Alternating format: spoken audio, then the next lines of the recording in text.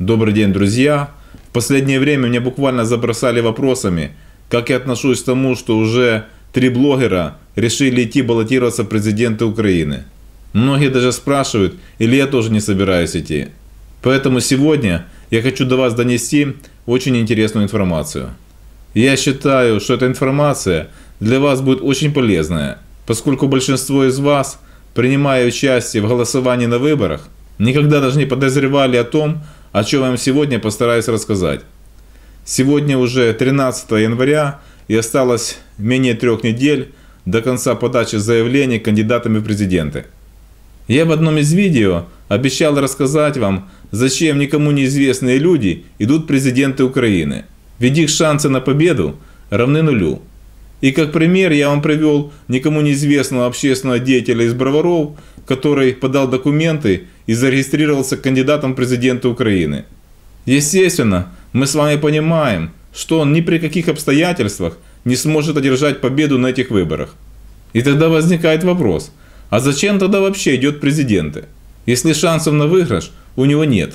Зачем он выбрасывает 2,5 миллиона гривен на залог? Ведь это немалые деньги – Таких претендентов, которые, как правило, не имеют никаких шансов на победу, зачастую называют техническими кандидатами.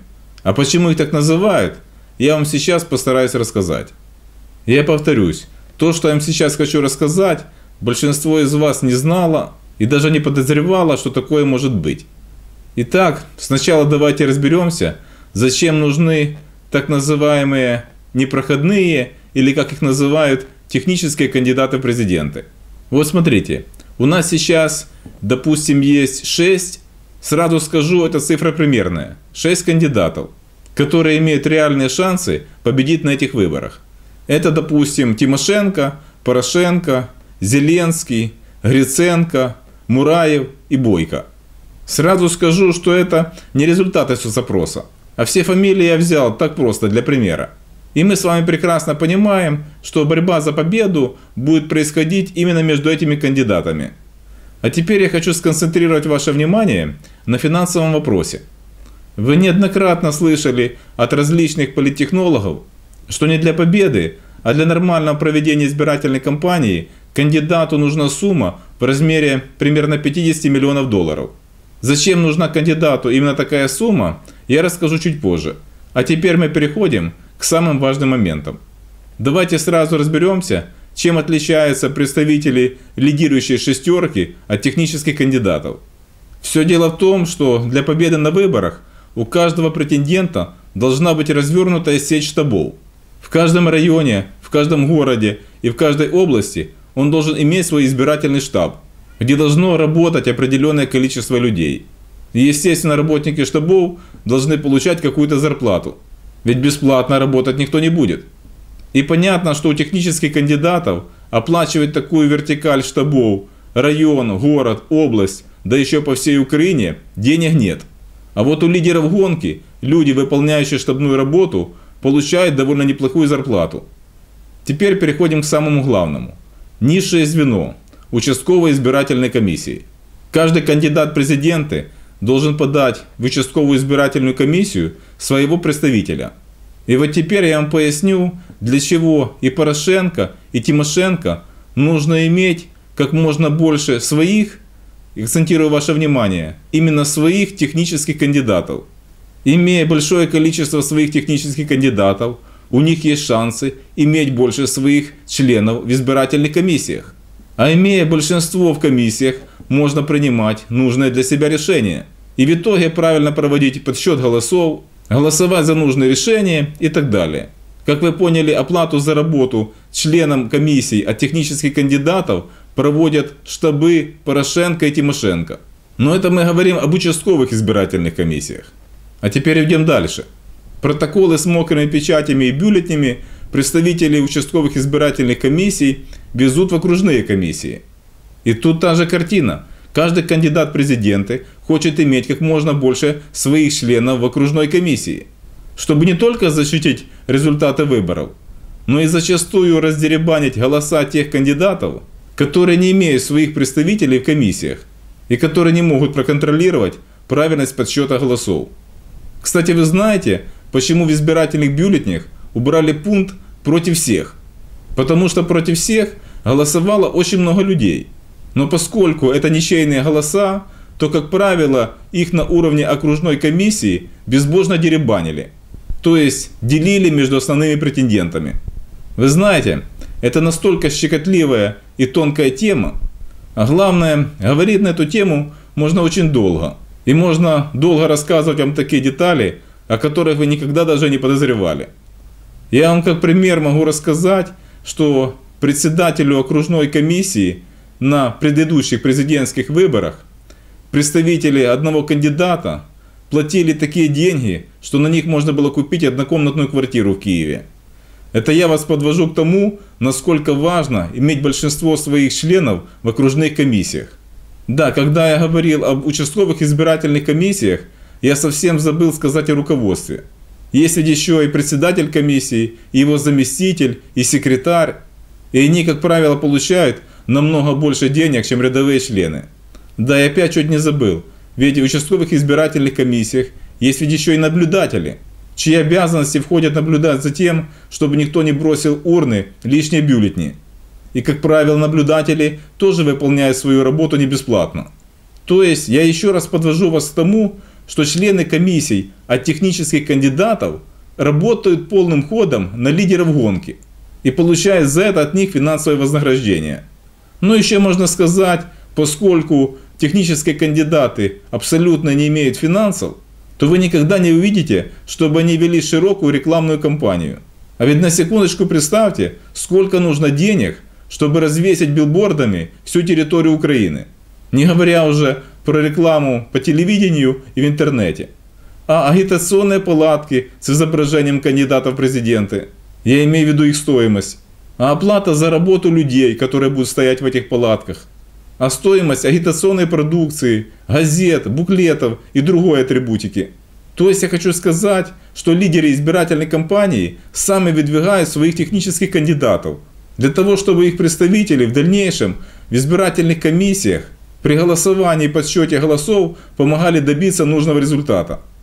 А теперь я хочу ответить на вопросы моих зрителей о том, как я лично отношусь к тому, что многие блогеры тоже решили двинуть президенты и начали сбор денег на необходимый налог у своих подписчиков. Что касается Геннадия Балашова, то он не просто блогер, он известный политик и лидер партии – так вот, касательно Балашова, я скажу так. На сегодняшний момент партия, его партия 5-10, я считаю, что это единственная партия в Украине, у которой есть идея. Да, Балашов сказал, что если он не соберет у своих сторонников нужной суммы на необходимый залог, то он добавит свои деньги и все равно пойдет баллотироваться президенты. Но он прекрасно понимает, что без нужной суммы, которая исчисляется миллионами долларов, не то что выиграть, но и полноценно провести избирательную кампанию невозможно. То есть я хочу сказать, что на эти выборы он пойти может, но результат его на этих выборах лично для меня будет известен заранее. И я думаю, что в лучшем случае он будет в пределах 1%. Но я Балашова прекрасно понимаю. Ему нужно быть постоянно на виду, иначе интерес к нему, как политику и как лидеру партии, у людей просто пропадет. Поэтому вполне понятно, почему он идет на выборы. Ну а теперь, отвечая на ваши вопросы, я хочу сказать несколько слов о тех малоизвестных деятелях, а также о блогерах, которые тоже решили идти в президенты. Но они, не имея никаких финансов, решили просить помощи у своих подписчиков и у своих зрителей для внесения необходимого залога. Сразу скажу, что эти люди не являются чьими-то техническими кандидатами – а просто они имеют очень большие амбиции и думают, что вот я просто пойду в президенты, где-то красиво выступлю на телеэфире, и все, люди за меня сразу проголосуют. И в связи с этим у меня сразу возникает несколько вопросов. Деньги на штабы по всей вертикали есть? Деньги на оплату членов участковых избирательных и окружных комиссий есть? Деньги на все виды рекламы и агитационную продукцию есть? Нету? Ну тогда результат вашего похода в президенты заранее известен. Он будет равен 0,3%. Я еще раз хочу подвести всех наивных к тому, что в таком серьезном деле, как выборы президента, а вдруг не бывает, А вдруг выиграть президентские выборы в Украине просто невозможно. Ну разве что эти люди просто хотят потешить свое честолюбие, чтобы по истечении какого-то времени пощеголять перед знакомыми, что вот я в 2019 году даже баллотировался кандидатом в президенты Украины. Ребята, понимаете, я на эту тему могу рассказать вам еще очень много интересного, поскольку опыта работы в избирательных кампаниях у меня более 15 лет. Да, я совсем забыл, что для каких-то реальных шансов для победы на выборах играет такой немаловажный фактор, как узнаваемость кандидата. Как вы думаете, кого избиратели лучше знают в лицо? Порошенко, Тимошенко, Ляшко или какого-то малоизвестного блогера? А теперь представьте такую картину.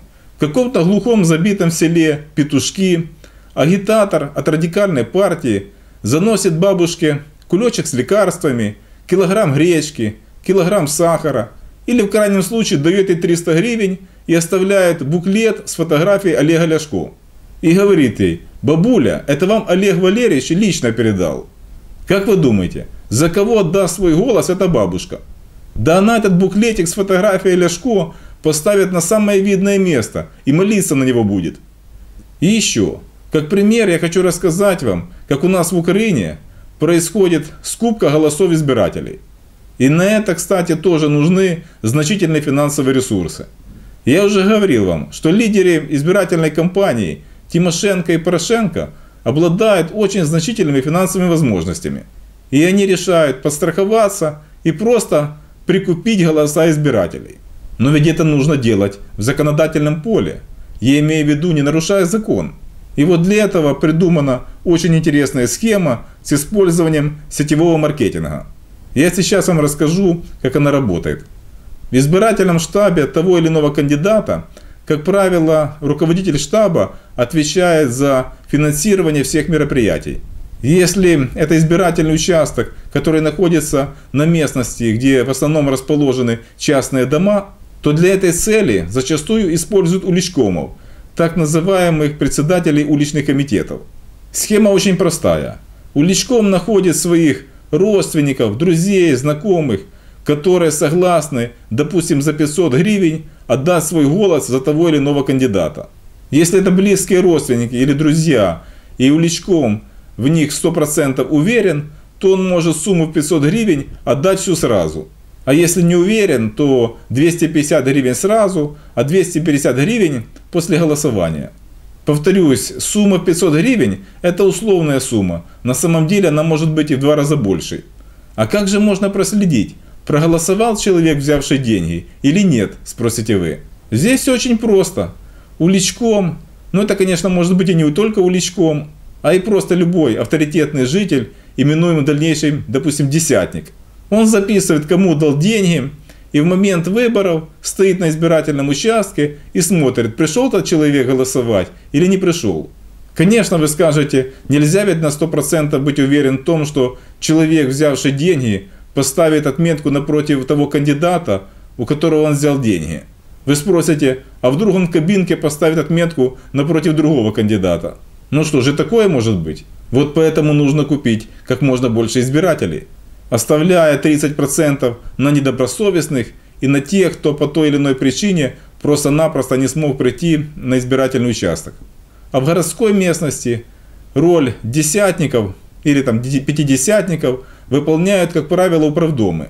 У меня знакомая рассказывает, что в Киеве эта работа уже кипит полным ходом, и пенсионерам уже разносят по 500 гривен. Не буду говорить от имени какого кандидата, да многие из вас уже и так, я думаю, догадываются от кого. Вы, естественно, скажете, так ведь это самый настоящий подкуп избирателей. Ведь это все незаконно. А тут, ребята, все элементарно просто. Давая человеку 500 гривен, с ним заключается договор, что он получая деньги, будет официально работать агитатором на того или иного кандидата. Все, все законно. Если вдруг какая-то проверка, то он официально принят на работу. Он принят на работу агитатором, и к нему никаких претензий быть не может. И, ребята, поверьте, я очень хорошо отношусь ко всем блогерам.